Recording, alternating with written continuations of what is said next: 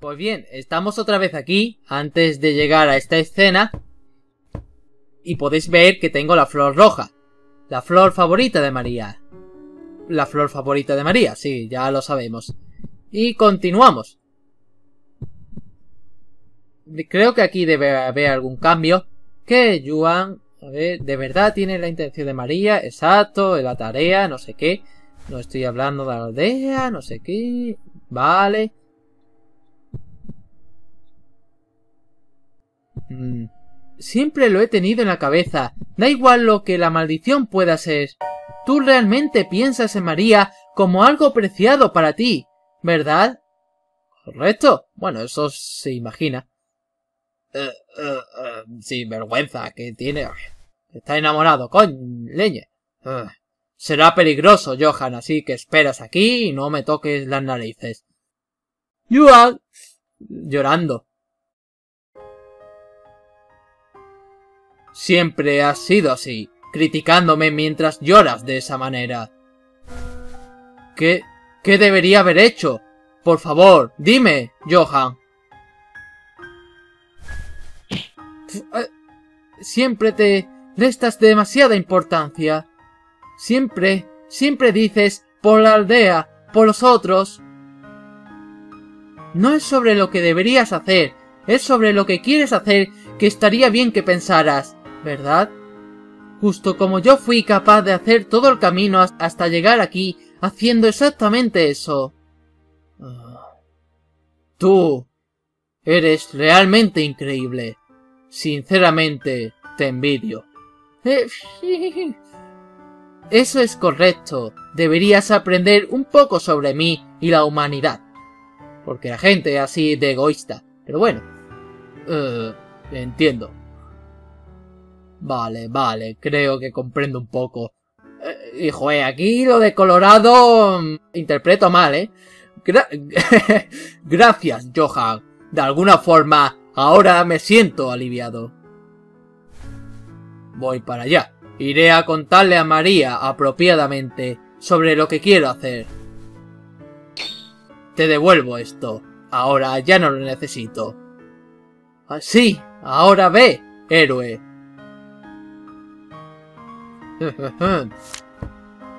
Voy a ver si... Vamos a ver eh, otra vez con él.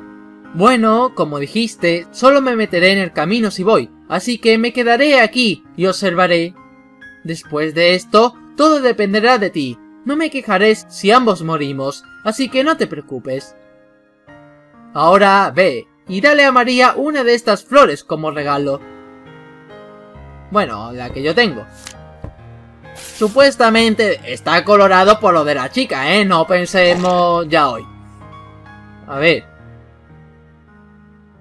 La masa corpórea. El cemento. Vivo. Duele, es doloroso, es solitario, es aterrador. María. No vengas, no vengas. ¡Qué odioso! ¡Qué odioso! Te maldeciré, te maldeciré, te maldeciré muchas veces otra vez. Nunca lo perdonaré, nunca lo perdonaré. Nunca lo perdonaré. María.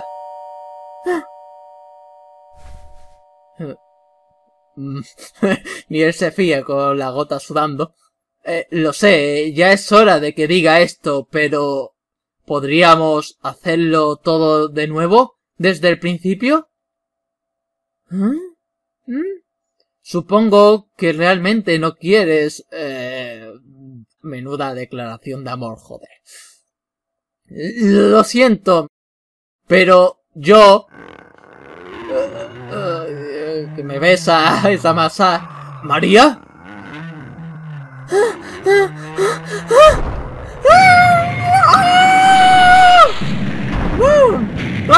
que no puedo gritar, que es por la noche y me... Lo he abrazado. Se deshizo la masa, ¿no? El rencor también. Oh, estoy aquí. Espera, ¿qué hago? Es verdad, aquí había un flashback. ¿Qué es este lugar? Hasta hace poco, ciertamente estaba en la casa de la bruja. ¿Qué pasa con esta cabeza? Y también, ¿qué demonios le ha pasado a mi ropa? Sí, ropa de mayordomo. Es decir, que tú no decidiste esto, claro. No puedo quitármelo. ¿Qué hago? Mmm... No puedes hacer nada, te aguantas. En cualquier caso, supongo que es inútil quedarse aquí. Eh, también controlamos, yo creía que iba a ser una cena larga, pero nos da la opción de guardar al menos. Como yo ya he hecho una copia del juego. A ver, ¿qué pone aquí? No olvidaremos tu valentía, los cojones. Ah, ah, sí, los aldeanos. Valentía. Uh, sí, eh, valentía, lo que le faltan a ellos, y dos pelotas. Vamos. A todo. Creo que... ¿Eh?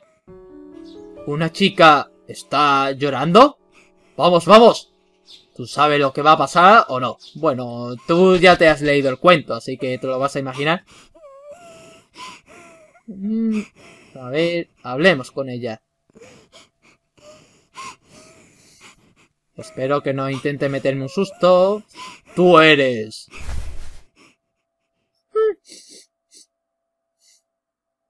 Mm. ¡Oh! ¡Ella! se parece a ella, pero ¿de verdad es posible? Pequeña señorita, ¿qué ocurre? ¿Por qué lloras? Mm. Porque estoy completamente sola. ¿Eh? ¿Eh? Esto, ¿cuál es el, el guion? Esta extraña cabeza, estas extrañas ropas, y una niña pequeña justo como ella. Ah, ah, ya veo, así que se trata de eso. Ajá, ya me acuerdo lo que tengo que decir. ¿Qué? ¿Qué? No estropees el momento. Yo estoy completamente solo, pero no estoy para nada triste. Tengo envidia de que no conozcan la soledad, pero es bastante triste de ser de esa forma. Eh, todo al plan. Ya veo, es cierto. Así que esto realmente es aquello. Eh, eh, ¿Qué estás diciendo? Entonces ahora lo que me piden aquí es... ¿Mm? Oh, magia. Ah.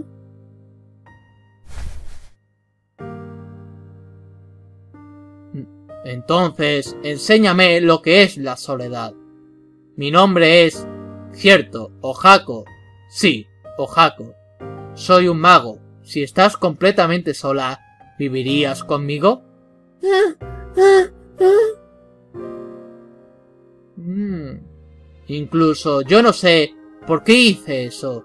No creo que fuera simple simpatía o culpa. Quería saber qué demonios es este sentimiento que brotó en mí por primera vez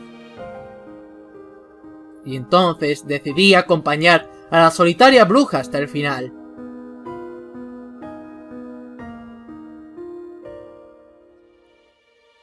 Hmm. Oh. Es el recuerdo de ahora. Oh, controlamos a la chica. Otra vez que nos deja guardar. Pétalos. Pétalos de flor rojos. Eh, ¡Desaparecieron! ¡Pétalos! ¡Pétalos! ¡Vengan a mí! ¡Eh! ¡Eh! ¡Joder! Estas flores son de esa vez. Vamos para allá. Más flores. Más, más, más. Deberían poner flashback alrededor, pero bueno. Más flores. Y es por eso... ¡Ay! Sí, ahí apareció. Al fin. ¿Y por qué estoy recordando algo así. Déjate los rencores a un lado. Sigo. Ah, mira, ahí estoy. ¿Por qué demonios tú? Tengo que seguir. Ahí estoy yo, tendido. Te miro por la cabeza. Por aquí. En el coco. Ahí, bueno, se pone ahí. Los recuerdos. Mm. De verdad eres un tonto. Ah, y me dormí.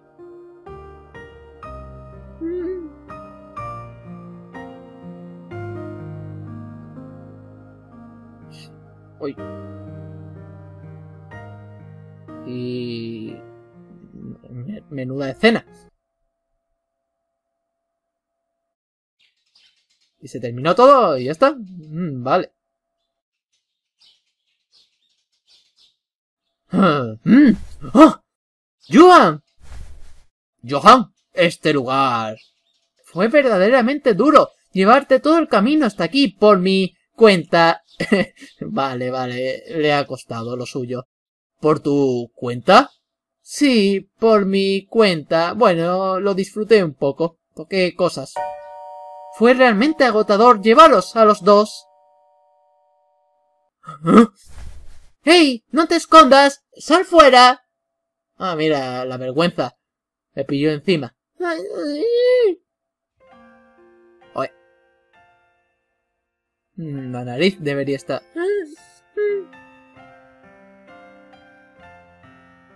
No, no quiero. Si estás despierto, entonces sal rápido. Y venga ya, si está queriendo abrazarla, anda que... Incluso aunque esa chica vino tantas veces a ver cómo estaba hasta hace poco. Si no te vuelves a acercar más a esta casa, no le haré nada a la aldea. Anda que la sonde. Solo quiero vivir aquí, en paz, en continua soledad. No te lo crees ni tú. María. Eh. Me han criado para ser un héroe desde que puedo recordar. Siempre me he dicho a mí mismo que es la compensación de la aldea, sin dudar nunca nada, siempre con una vida de entrenamiento. Ese día, cuando te apunté con la espada, fue la primera vez que sentí algo de duda. Entonces, mientras vivía contigo como Jaco, finalmente me di cuenta de que era lo que sentí. ¿Qué intentas decir? En otras palabras, todo este tiempo siempre he sido a quien le decían cosas mientras intentaba ser un héroe. Pero ahora creo que eso no es bueno. No quiero ser un héroe inventado, sino un verdadero héroe. Uno creado con mi propia mente y que ayuda a aquellos que lo necesitan. Así que he decidido ir de viaje para ver firmemente el mundo con mis propios ojos. Así que... Eh, venga. ¿Vendrás junto a mí? Quiero que seas testigo de cómo me convierto en un verdadero héroe. Un poco... vale. Con la caja. Eh, ¿Qué es eso? Eh, tú me hiciste eso. Pensé que te gustaba más de esta forma, así que... A ver si me destroza la caja. Realmente eres un tonto, Yuan. Eh. Oh, bueno, sí, me has roto. ¿Eh? ¿Qué? Eso no es necesario.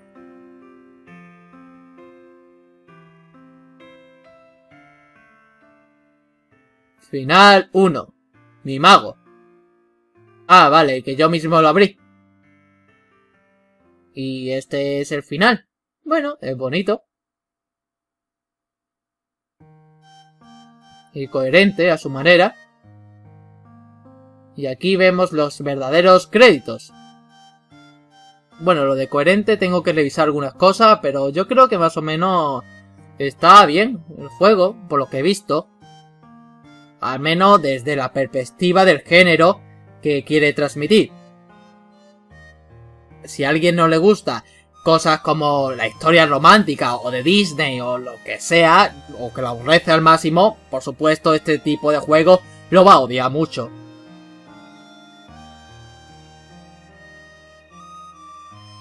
Pero yo lo veo siempre desde esa perspectiva, igual que lo de Underworld Capital Incident, que lo vi desde algo un poco ya hoy, aunque no me guste. Hmm, ha estado bien. Y ahora me tomaré después un descanso para pensar un ratillo, porque no quiero decir qué hora es, porque ciertas personas que me conocen me van a matar, pero quería ya acabármelo de una vez.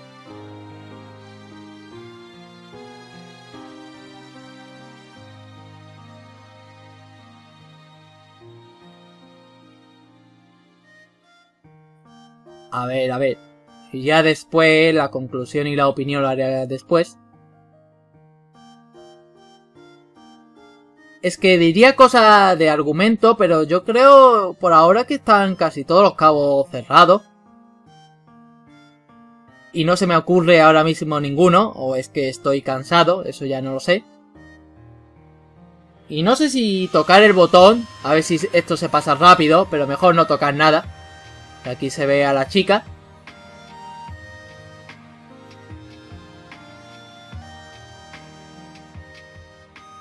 Eh, o Hako o Yuan realmente era un esclavo. Y sería una buena perspectiva eso, que algunos héroes en verdad no lo son porque no lo decidieron por sí mismos. Fueron mandados por otros a hacer esos hechos. Héroes inventados, como se dice. No siempre son héroes. O por hacer algo bueno se deben sentir orgullosos de sí mismos. Mm.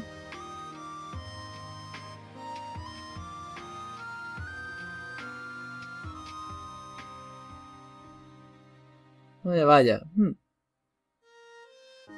Y ahora que decidirá sus propias decisiones, pues... La cosa irá mucho mejor. Bueno, más mirable es.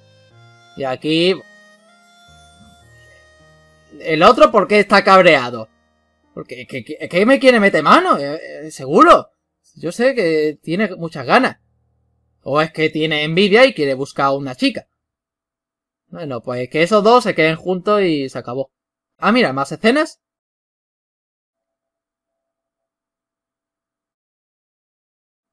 Johan, ¿qué harás a partir de aquí? Pretenderé que nada ha ocurrido y volveré a la aldea. Me inventaré una historia para vosotros, así que no os preocupéis y soñaré contigo todas las noches, Yuan. Eh... Eh... Ya que eres tú, estaba segura de que dirías, yo también voy. Eh... No soy tan descortés, ¿sabes? Eh, eh, eh, hay mucho cabreo, no sé. Estaba pensando en cambiar la aldea desde dentro, a mi manera, matándolos a todos. Y también, si no estoy allí, entonces ya no serán capaces de diagnosticar adecuadamente los resfriados, al menos en esa aldea. Sí, ya veo, eso es lo que has escogido, ¿verdad, Johan? Eh, sí. También te enviaré cartas. Idiota, entonces todos descubrirán. No las necesito. Eh, yo quiero tus cartas. Entonces es hora de que me vaya. Que te vaya bien, Johan. Nos vemos, Juan. Tú también, María. Cuídate. Sí. Gracias. Vamos. Tengamos muchos hijos. Eh, no digas eso en público. Eh, eh, y este se quedó solo. Venga ya. En la aldea. Soy incapaz de decir nada sobre lo que les ocurrió a esos dos después de aquello. Sin embargo, hace unos días un viajero trajo una fotografía que iba dirigida a mí. En ella había una feliz pareja que llevaba una extraña caja en sus cabezas. Un bonito símbolo. Y se terminó, joder, de golpe, vale. Pues bueno, me voy a tomar mi pequeño descanso y cuando termine todo lo anterior, volveré aquí y haré mi conclusión y mi opinión. Y bueno, y creo que con esto podemos ya dar por terminado Wizard of White Box, y ahora daré una pequeña conclusión y una opinión. La verdad es que el juego en sí no ha dejado ningún cabo suelto y yo creo que es fácil de entender. Y he dado pequeñas explicaciones por la mitad, pero de todas formas voy a hacer ciertas aclaraciones por si no se ha enterado demasiado al verlo por primera vez. Podríamos comentar sobre los tres finales, los dos normales y el verdadero, bueno, el final 3 no creo que haga falta decir casi nada, que Ohako encerró a la chica y posiblemente se quedó encerrada hasta que la magia desapareciera o la magia se esfumó o lo que sea, ya no se sabe lo que ocurrió, ese es fácil de entender. Pero el, final 2 o el ending sí es más complicado de verlo, porque a simple vista puedes interpretar de que Yuan se volvió loco por culpa de la maldición provocada por la bruja, y por eso se imaginaba de que la chica seguía viva, y al final siguió feliz hasta el fin de sus días. Pero en mi opinión, y parece que lo indica también, en realidad no tiene nada que ver con la maldición. Simplemente el propio Yuan ya estaba enamorado de la chica, pero no quería admitirlo y quería seguir cumpliendo con su deber. Al matar a su amor de su vida o a la chica que más le gusta, pues no pudo admitir de que ella murió y se imaginó que su espíritu seguía vivo en esa muñeca. Pero en realidad no era así, simplemente es que estaba traumatizado psicológicamente, más o menos. Eso podría significar.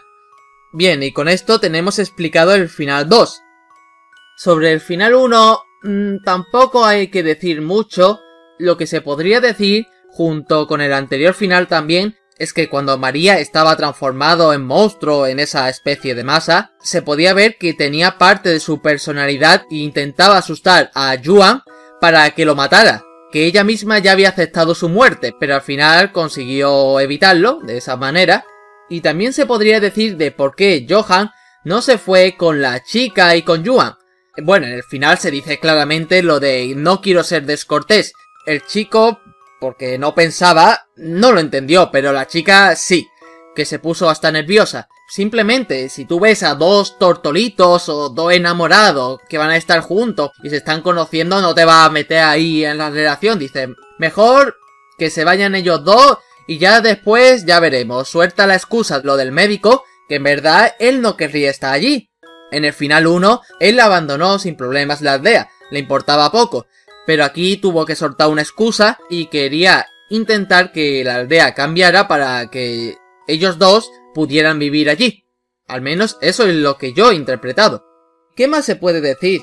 Mm, podría explicar sobre el significado general del juego en el que básicamente te dice en el que no te conviertas en un esclavo de los demás desperdiciando tu vida a pesar de que ellos te hayan cuidado o incluso son familiares, no estás obligado a tomar las decisiones que ellos mismos quieren. Debes tomar las tuyas propias en base de lo que tú crees. Sí, eso básicamente es, pero que no seas esclavizado por los demás, en resumen. Eso mismo que acabo de decir es lo que ha contado Yuan en lo de convertirse en un verdadero héroe. Queda un poco más infantil, pero es lo mismo, básicamente es igual. Para mí es un buen significado. Muchas personas que yo conozco se lo tendrían que aplicar y un poco creo que yo también, en parte. Con que tengas en consideración eso, al final lo consigues. Y creo que ya está. Podría contar sobre el significado del cuento que al final debes encontrar Ojako Soledad lo que encontró es el amor, pero eso creo que se ve de sobra, y no hace falta especificar. Y con esto hemos terminado la conclusión y ahora daré mi opinión. Antes de empezar, este juego hay que verlo desde un punto de vista bastante infantil, pero mucho más que casi cualquier juego que he jugado, y me refiero a edades de una cifra o estilo película Disney, como dije en los créditos. ¿Y por qué pienso eso? Mira, hay 200 detalles que lo indica, incluido cuando dice sobre que la aritmética es muy buena y, lo de lavarse los dientes como si fuera para los niños. También con los topicazos que tiene, u obviedades, y también un significado lógico y bonito, es decir, que tiene todo lo necesario para convertirse en un juego de ese estilo. Sí, hay otros que parece que también son como ñoños y eso, pero tiene ciertos detalles que nunca lo pondrían en una película para niños, segurísimo. Este prácticamente todo. Bueno, exceptuando los finales malos, que eso no lo van a poner. ¿Por qué he dicho eso? Quiero que lo tengáis en cuenta porque a lo mejor lo que voy a decir después puede que a alguno le enfade, cosa que yo me imagino con mi mente paranoica. Y dicho esto, podría comenzar diciendo que por fin hay un juego japonés que tenga una historia un poco ñoña y que hable directamente del amor es que me estoy refiriendo a casos como Teitai Shoujo, Remember o Forest of Drizzling Rain, que habla sobre el tema casi como si estuvieran enamorados, pero no lo están. Es como amistad extrema, eh, estilo anime muy típico.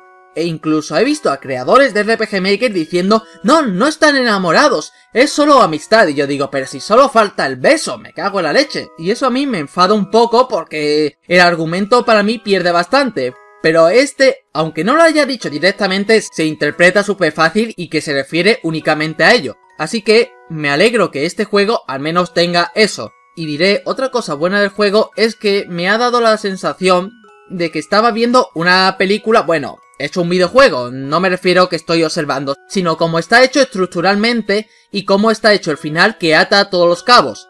Y ya digo que podría hacer una película en el cine basándose solo en este argumento. Si comparamos con otros juegos como Underworld Capital Incident, que ese por ejemplo en el manga se tiene que inventar un montón de cosas para que quede un argumento más o menos que se pueda leer, porque si no sería una porquería. Otro sería Remember, que es imposible hacer una película sobre eso, a no ser que cambie el juego directamente, porque con el montón de flashback que te come al final y de cómo está contado, eso sería casi infumable. Y podría seguir comentando otros más, pero lo que quiero decir es, como está contado la historia, para mí ha sido correcto. Bueno, hay unos pequeños detalles que ahora diré.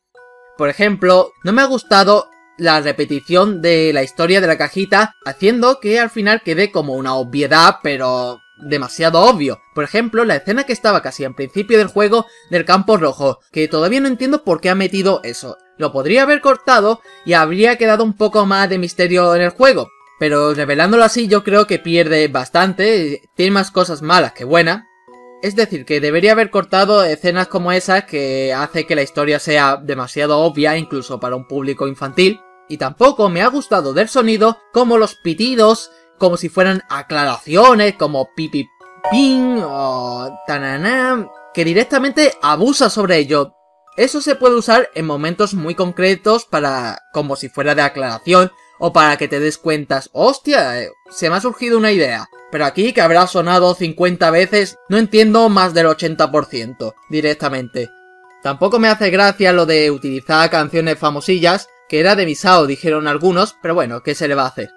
Y ya si comento sobre otros puntos malos del juego, podría decir algunas diversas escenas, como cuando Johan intenta tirar de la caja de Yuan, pero los dos en verdad están como estáticos parados. Debería haber puesto ahí que el spray se moviera, y si eso era mucho trabajo, directamente poner dibujos, y también lo podría decir en más escenas concretas, aunque bueno, tampoco eso me ha estropeado al jugarlo, así que tampoco me importa demasiado, al 100%, y creo que casi ya está Podría comentar como cosa última que me ha gustado es sobre el simbolismo de la caja, de cómo lo ha utilizado. Ya, tampoco es algo súper complejo, pero me ha parecido correcto. Hay otros juegos como el Listen, el personaje ese que tenía un sombrero, que no me gustó prácticamente nada como lo utilizó, porque podía haber sustituido el personaje por un cactus como símbolo y al final hubiera sido lo mismo, pero aquí no. Con los distintos finales normales y el verdadero ha quedado perfecto para mí, no ha estado mal.